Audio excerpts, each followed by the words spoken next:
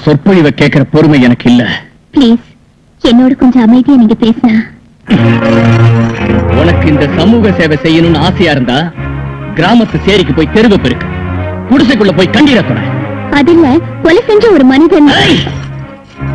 இன்னொரு வாட்டி கொலகாரன் சொன்னா உன்னை நிஜமாவே கொலை செஞ்சிருவேன். நீ என் உள்ளத்துல உள்ள மிருகத்தனத்தையும் சரி என் இதயத்துல உள்ள ஆவேசத்தையும் என் கண்கள்ல உள்ள ரத்த வெறியையும் குறைக்க முடியாது. போ வெளியே போயிடு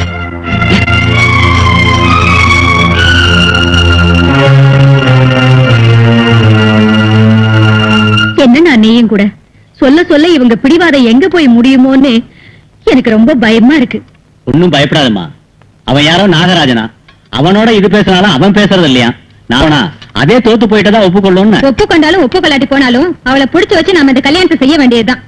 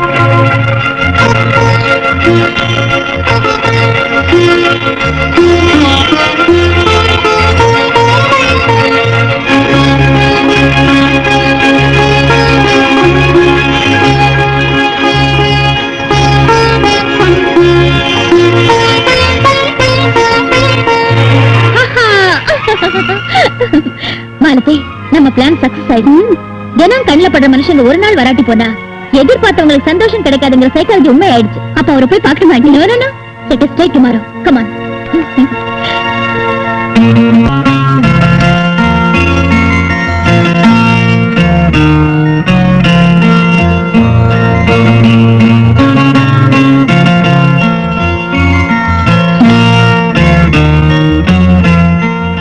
வணக்கங்க நீங்க ரெண்டு நாளா ரொம்ப ஏக்கமா இருக்கீங்க போல இருக்கு. யார பாக்கணும்னு தினமும் என்ன பாக்குறதுக்கு எதுக்கு வர? எப்பவும் என்ன பார்க்க நீங்க விரும்புறீங்களான்னு தெரிஞ்சுக்கிறதுக்காக. இன்னைக்கு ஜெயிலர் கூட என் பின்னால வரல. கவுன்சிங்களா எதுக்கு தெரிஞ்சுதா? இப்ப நீங்க என் மேல பாஞ்சாலும் என் கழுத்தை நீங்க பிடிச்சாலும் அவங்க தடை பண்ணாத இருக்கிறதுக்கு. என் கதை உனக்கு நல்லா தெரிஞ்சு எதுக்காக என் கூட நீ விளையாடுற? இப்படி உங்களோட நான் பேச சந்தர்ப்பம் வரதுக்காக உங்க மனிதத்தன்மையை உங்களுக்கு எடுத்து சொல்றதுக்காக உங்களாட்ட ஒருத்தரையாவது நிக்க வச்சு மனிதத்தன்மையை புரிய வைக்கிறதுக்காக உங்க மாதிரியே கொள்கை உள்ளவனா அநியாயம் நடக்குதுன்னு ஆத்திரப்படுற நீங்களும் நியாயம் நடக்கணும்னு வேதனைப்படுற நானும் ஒரு கூட்டு பறவைங்க. தப்பு செய்யலைங்கிற பெருமையோட தலை தூக்குற உங்க தைரியம் உள்ளத்தை பிளக்கிற ஆவேசம் உணர்ச்சி வசம் நீங்க குற்றவாளி இல்லைன்னு மேல மேல சாட்சி சொல்லுது. ஏதோ ஒரு விபரீத நிலைமை உங்களை இந்த வஞ்சக வலைக்குள்ள சிக்க வச்சிருக்குன்னு என் மனசு எனக்கு சொல்லுது. என் நம்பிக்கை வீண் போகாதுன்னு சொல்லுங்க. தயவு செஞ்சு உண்மை என்னன்னு நான் தெரிஞ்சுக்கணும். நியாயத்துக்கு நியாயம் வழங்க விடுங்க. இல்ல நியாயம் வெளியே வராத தொண்டையை பிடிச்சுக்கிட்டவங்கள நானும் ஒருத்தி தான்னு நியாயத்தை மூடுறதுக்கு கருப்பு துணி போட்டிருக்கேன்னு நானும் நியாயத்தை படுகொழியில தள்ளுறேன்னு இன்னும் உங்களுக்கு வேணும்னா ம், என் கழுத்தை நெரிச்சு கொள்ளுங்க என் வக்கீல் மேல உங்களுக்குள்ள ஆத்திரம் எரிச்சல் ஆவேசம் எல்லாத்தையும் தீர்த்துக்குங்க. ம்,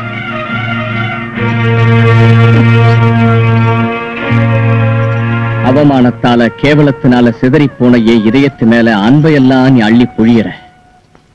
லட்சியத்தோடும் தியாகத்தோடும் இந்த சமூகத்துக்கு சேவை செஞ்ச என் ரேகாவாட்டம் நல்ல பெண்மணிகள்.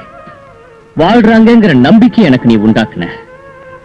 ஆவேசத்துல எரிஞ்சு விழுந்து உன் மேல நான் நெருப்பு பொழிஞ்சதுக்கு என்ன நீ மன்னிச்சிடு. உங்க ரேகாவை பத்தி சொல்றீங்களா? ரேகா. ஐயோ அப்ப சொன்னேன்ல நாகராஜன் என் சொந்த தாய் மாமா புள்ளன்னு. அது சரிம்மா. நீயோ கல்யாணமாகாத பொண்ணு அவன் கல்யாணமாகாத பையன். ரெண்டு பேரும் ஒரே வீட்ல எப்படி இருக்கிறது? என்னங்க புத்தி நல்லதா இருந்தா ஒரே அறையில இருந்தாலும் பரவாயில்ல. இல்லாட்டி போனா எல்லாத்தையும் கொடையிற உங்க மாதிரி பொம்பளைங்களுக்கும் ஆபத்துதான். என்ன நீ? உன் வீட்ல சண்டை போட்டுட்டு அண்ணனுக்காக வந்திருக்கேன்னு சொன்ன? அவரை பார்த்தோன்னே வெக்கப்பட்டு போய் நிக்கிறியே. சிப்போ போறேன்னு. இந்த வீட்ல இருந்து போக வேண்டியது நான். இங்க வர வேண்டியது நீ. ஆமா. வீட்ல எதுக்காக சண்டை போட்ட நீ? உனக்கு தெரியாத மச்சான் என் லட்சியம். பட்டிக்காட்டு மக்கள் வைத்திய வசதி இல்லாம ரொம்ப கஷ்டப்படுறாங்க. நான் உன் கூட இருந்தா இந்த கிராமத்துல ஒரு ஹாஸ்பிடல் ஓபன் பண்ணலாம்னு சொன்னேன். அதெல்லாம் வேண்டான்னு அப்பா அம்மா சொன்னாங்க.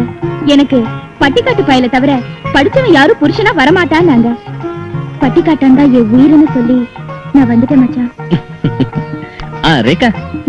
உனக்கு ஆஸ்பத்திரி கட்டணும்னா இடம் எங்க வேணும்? என் பூமியை தரவா? தேவையில்லை மச்சான். நான் அதுக்கான இடத்த பார்த்து வச்சிருக்கேன். காந்தி சிலைக்கு பக்கத்துல ஒரு இடம் இருக்குல்ல கலெக்டர் கிட்ட நீ எடுத்து சொல்லி அதை வாங்கி தந்துட்டீங்கன்னா என் லட்சியம் நிறைவேறிடும். சீ, போங்க கோவப்பழங்களாட்டம் இருக்கிறவன் முதல். எனக்கு ரொம்ப இஷ்டம். அது தேவைன்னா நிரந்தரமா என்ன சொந்தமாக்கிக்கலாம்ல? வாரிசு கூட தந்துடுறேன். உன்னாட்ட ஆசை நாயகி. சரசமானதான் ரைட்ஸ் இருக்கு. வாரிசு தர ரைட்ஸ் இல்லடி. அவ்வளவுதானா? நான் கரும்பு துண்டாட்டம் உள்ளவதானே? சார துவைச்சிட்டு சக்கையை துப்பிடுவீங்க. ஷீலா டோன்ட் இரிட்டேட் மீ நான் இந்த ஊர் இல்ல மெட்ராஸ். ஆனா இங்க எதுக்கு வர்றேன்? உனக்காக. இந்த வீட்டை கட்டினதே உனக்காக. சார். யார் அது? நான் தான் சார் ரப்பர் நாயுடு. யோ ரப்பர் நாயுடு. சந்தர்ப்பமே தெரியாத சவுண்டியா நீ? இதுலயுமா நீ ரப்பரு? ஐயா மன்னிக்கணும். ஒரு முக்கியமான விஷயத்தோட கூட பஸ் கலெக்ஷனும் கொண்டு வந்திருக்கேன். என்னையா கண்டக்டர் பத்து மணிக்கு வர வேண்டியவன் இப்பதான் வர்ற என்ன செய்ய சொல்றீங்க சார்? பத்து கிலோமீட்டர் விட ஜாஸ்தி ஸ்பீடு போனா கல்ல விட்டு எறிறாங்க சார். குறுக்க வரவனை அடிச்சு தள்ள வேண்டியதானே? நீ ஒன்னும் கவலைப்படக்கூடாது. மனுஷனை கொலை பண்றதுக்கு சிட்டி பஸ்ஸுக்கு மட்டுமே உரிமைன்னு சட்டம் போட வைக்க போறாரு எங்க ஐயா. கிழிஞ்சது போ. கண்டக்டர் நீ போ. சரிங்க. என்னையா நீ சொல்ல வந்தது? அதாங்க அந்த நாகராஜனோட மச்சினி டாக்டரா இங்க வந்து ஹாஸ்பிட்டல் வைக்க போறாளாம். Very good வைக்கட்டும். அப்பப்போ இந்த பச்சைக்கிளி அபாஷன் பண்ணிக்கலாம். அந்த யோசனை எனக்கும் வந்து தொலைஞ்சது. அவங்க பார்த்திருக்கிற அந்த இடம் எது தெரியுங்களா? அம்மாவுக்கு ரம்பா தேட்டர் கட்டுறதுக்காக. காலி செய்ய வச்சு தரேன்னு சொன்னீங்களே லேபர் காலனி அது அம்மா அம்மா அம்மா அம்மா. இவர்தான் அப்படின்னா இந்த ஊர்ல உள்ளவங்க கூட எனக்கு அநியாயம் செய்யறாங்க போல இருக்கு. அவங்க ஹாஸ்பிட்டல் எங்க கட்டுறாங்கன்னு நான் பாக்குறேன்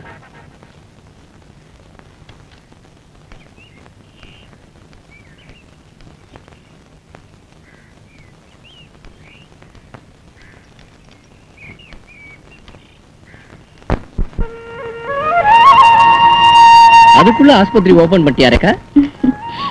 நோயாளிகளுக்கு சேவை செய்யறது என் கடமை மச்சான். சார் கலெக்டர் அந்த இடத்த உங்களுக்கு தேட்டருக்கு கொடுத்த மாதிரி உத்தரவு பத்திரம்.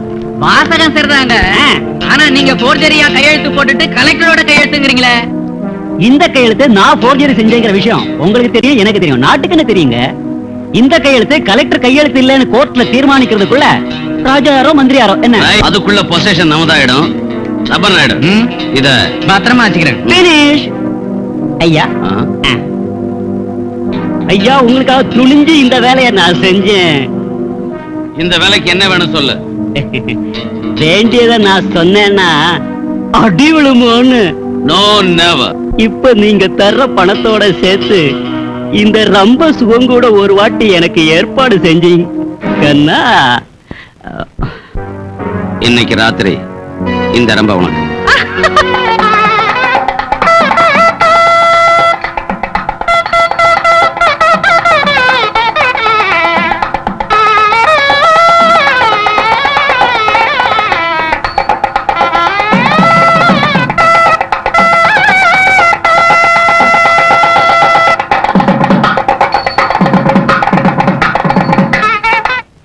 புரோகிதர மந்திரம் ஓதிக்கிட்டு இருக்க யாருக்காவது தேவசம் கொடுத்துட்டு இருக்கியா? தேவசம் இல்ல தம்பி அஸ்திவாரம். இங்க ஷீலாமா சினிமா தியேட்டர் கட்ட போறாங்க. அதுக்கு கடக்கால் பூஜை. அவங்க வீட்டுல வச்சுக்க கடக்கால் பூஜை. இந்த இடத்த ஹாஸ்பிட்டல் கட்டுறதுக்கு அரசாங்கம் ரேகாவுக்கு ஒதுக்கி இருக்கு இது ஆர்டர் போலி ஆர்டர்ஸ் யார் வேணாலும் எழுதிக்கலாம். கலெக்டர் ஷீலாவுக்கு தியேட்டர் கட்டுறதுக்கு பர்மிஷன் கொடுத்திருக்காரு. கவர்மெண்ட்டுக்கு பணம் கட்டி இந்த இடத்த எடுத்துக்கிட்டோம். ரப்பர் நாயுடு காமியா பத்திரத்தை. பாருங்க பாருங்க நல்லா. ஸ்டாம்பு கையெழுத்துல இருக்குங்க. போலி கையெழுத்த காமிச்சு இந்த இடத்த நீங்க எடுத்துக்கணும்னு நினைக்கிறீங்க. போலி கையெழுத்த போடுறது நீ. அவரோட சுயநலத்துக்காக இந்த இடத்தை எடுத்துக்கல. கிராம மக்களுக்கு வைத்திய சௌரியம் கிடைக்கிறதுக்காக கவர்மெண்ட் கிட்ட இருந்து இந்த இடத்தை வாங்கியிருக்காரு. சுயநலம் இல்லாத மக்களுக்காக இப்ப அண்ணன் செய்யற இந்த வேலைக்கு போலி கையெழுத்து போட வேண்டிய அவசியம் என்ன? எந்த அவசியம் எவனுக்கு வந்ததோ எனக்கான அவசியம் இங்க வைக்கிற அஸ்திவாரக்கல் மட்டும் நம்மளது. அங்க கல் வச்சா அந்த கடப்பார உன் நெஞ்ச ரெண்டா பொழந்துடுண்டா நம்ம ஐயாவை குத்துவியா? எங்க குத்து பார்க்கல? குத்துனதுக்கு அப்புறம் இன்னும் நீ பாக்குறதுனா பைத்தியக்கார நாய். இவங்க வளைச்சு வீழ்த்துங்க. கடப்பாறை தான் சட்டம்னா நாம செய்யறதுக்கு என்ன இருக்கு? வாங்க போகலாம். அவ்வளவுதானே? நாளைக்கு கலெக்டர் கூட்டிட்டு வந்து இந்த இடம் இவருதா? அவங்கள தானே தெரிஞ்சுக்கலாம் கலெக்டர் நான் சொல்றேங்க. அவங்களுதான். அதான் அந்த இடம் அவங்களுதான். என்ன பார்த்து பயப்படுற உங்களை நம்பிக்கிட்டு இருக்கிறது ஏன் முட்டாள்தனம்? ஐயா அங்க கைவரிசையை காட்டாம வந்துட்டீங்களே ஏன்? பெரியவங்க யாரும் செய்யற வேலை வெளியே வராதுடா. ஆனா டைம் வந்துருச்சுங்கிறதுனால சொல்றேன் இன்னைக்கு ஷீலா மர்டர் ஆயிடுவா. என்ன? நாகராஜன் கொலை பண்ணிடுவானாங்க? இல்ல நானே கொலை பண்ணுவேன். ஆனா நாகராஜன் கொலை பண்ணான்னு சொல்லுவேன் எனக்கு அதாட்டம் ஒரு டைம் வந்துடுங்களா? உனக்கு வராதுடா. உனக்கு வேண்டியது இப்போ இன்கிரிமெண்ட் ஒண்ணுதான். ஷீலா இத்தனை நாள் இந்த ரஞ்சித் ரசிச்ச உன் பாடிய இன்னைக்கு டெட் பாடி ஆக்க வேண்டிய அவசியம் வந்துருச்சு. உன்னை நான் கும்பிடுறேன். எனக்கு அந்த சினிமா தேட்டர் வேண்டாம். வேணும்னா உனக்கு இந்த கெஸ்ட் ஹவுஸ் கொடுத்துறேன். என்ன கொல்ல வேண்டாம் ரஞ்சித். டார்லிங் நீ செத்ததும் அதெல்லாம் எனக்கு தானா வந்து சேர்ந்துடும்.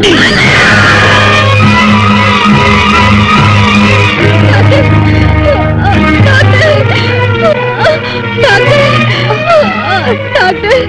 உயிரை காப்பாத்த கூடிய உங்களை மோசம் பண்ணதுக்கு நான் என் உயிரை இழக்க போறேன் டாக்டர். யார் இந்த கொடுமை செய்வது ரஞ்சித் என்ன கொண்டு அந்த பழைய நாகராஜ் மேல போறதுக்கு டாக்டர். அந்த மெடிக்கல் கிட்ட கொண்டு வா. டாக்டர் பிழைக்க சான்ஸ் இல்லைன்னு எனக்கு தெரியும். ஆனா டாக்டர் நாகராஜ் நிரபராதின்னு போலீஸுக்கு மரண வாக்குமூலம் நான் கொடுக்கணும். அது வரைக்கும் என்ன பிழைக்க வைங்க டாக்டர். டாக்டர் அவளை காப்பாத்தினா உன் உயிரும் போயிடும். டாக்டர் இங்க இருந்து நீங்க ஓடி போயிடுங்க ப்ளீஸ் நீ படவேட்டம்னா நான் பக்கா முனீஸ்வரன். கொலை பண்ண வேண்டிய மனுஷங்களை உயிரோட விட்டு வைக்கிறது நமக்கு வழக்கம் இல்ல ஆ? டேய்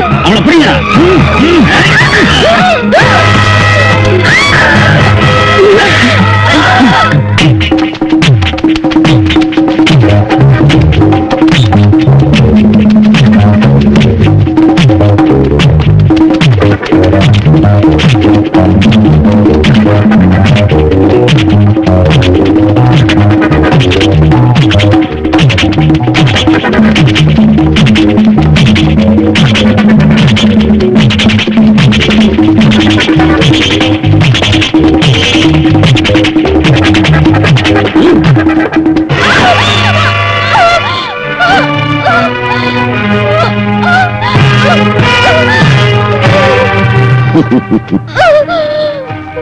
அந்த நாகராஜ் இங்க வர்றதுக்குள்ள ரப்பர் நாயுடுக்கு போன் பண்ணி போலீஸோட வர சொல்லு.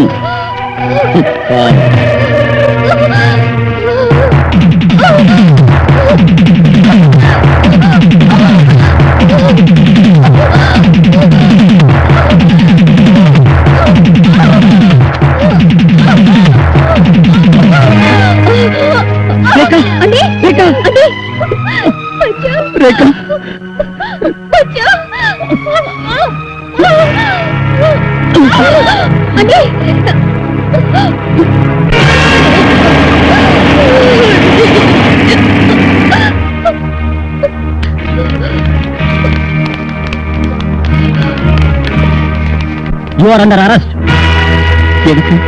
இந்த பொண்ணை கொலை செஞ்சதுக்கு. நானா? ரேகாவை கொலை செஞ்சது நீதான் நீதான்னு சொல்லி நீதிமன்றத்துல நிறுத்தி என் நெஞ்ச பொழந்தாங்க உங்க வக்கீலுங்க. ஒவ்வொருத்தரும் கொடியவன் குற்றவாளி கொலகாரன் முத்திர குத்தி என்ன ஜெயிலுக்கு அனுப்பிடிச்ச கோர்ட்டு அப்படி என் காதல சித்திரவதை பண்ணவங்கள என் மனித தன்மையை நொறுக்கினவங்கள என் மனசாட்சிய மண்ணுல புதைச்சவங்கள நான் என்ன செய்யணும்? போறீங்க. நான் செஞ்சு காமிக்கிறேன். பயங்கர கொலை குற்றவாளி பலர் பாராட்டும்படி செய்வதாக சவால் விட்ட லாயர் மாலதி.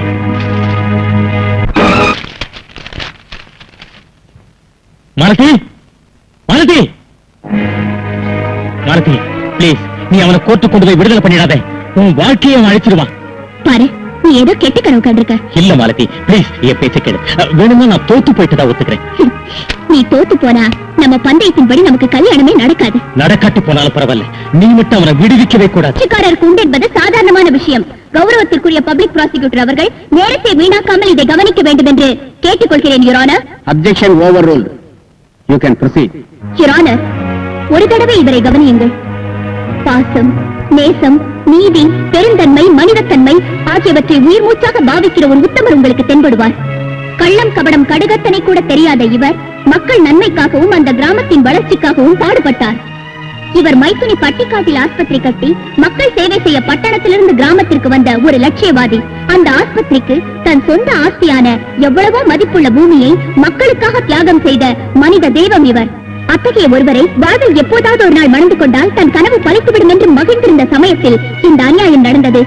பட்ட பகலில் பிரித்யானோடு அந்த குற்றத்தை என் கிளைண்ட் மீது சுமத்தினார்கள். அதற்கு விரோதமும் பொருளாசையும் தகுந்த காரணங்களாக கண்ணிகளை தென்படுகின்றன. இவற்றையெல்லாம் சாட்சி ஆதாரத்தோடு கூடிய விரைவில் கோர்ட்டில் வைத்து அந்த நிஜ குற்றவாளியை சட்டப்படி பிடித்துத் தர நிறைய அவகாசம் இருக்கிறது. அதுவரைக்கும் அந்த முயற்சியின் ஒரு பகுதியாக என் கிளையண்டை ஜாமீனில் விடுதலை செய்ய வேண்டும் என்று கோர்ட்டாரை கேட்டுக்கொள்கிறேன். குற்றவாளியை வெளியே அனுப்பினால் தவறு நடக்காதுன்ற கேரண்டி என்ன? அதற்கு யார் உத்தரவாதம்? நான் தான் நான் இருக்கிறேன் யுவரான.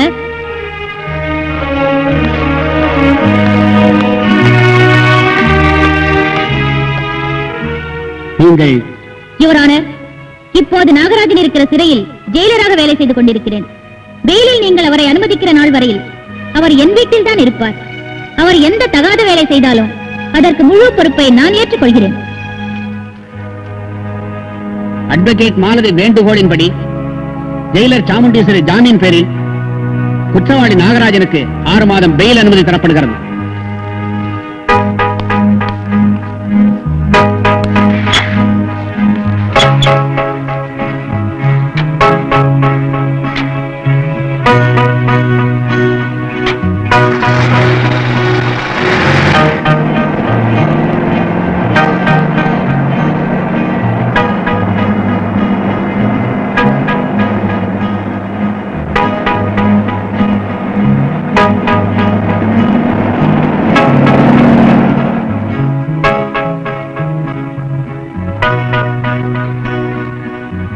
நாகராஜா.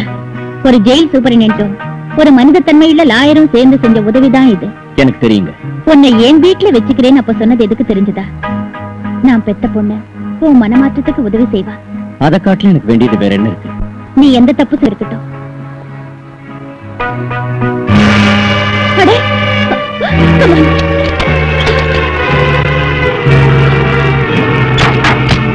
ஐயா மோசம் போயிட்டோமுங்க. அந்த நாகராஜன லாயர் மாலதி ஜெயில இருந்து வெளியே கொண்டாந்துட்டான் ஜெயிலர் வீட்டுக்கு போற வழியில நாகராஜன் தப்பிட்டானா? கங்காராம் சார் எடுத்துக்க என் துப்பாக்கி அந்த சந்தர்ப்பத்தை உனக்கு நான் தரமாட்டேன்டா.